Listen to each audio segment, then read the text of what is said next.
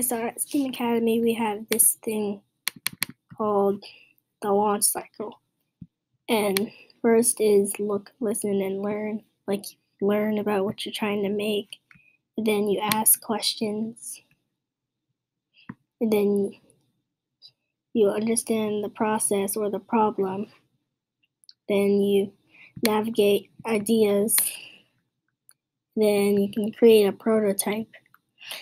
And then you can like, fix things. And then you launch it to the audience.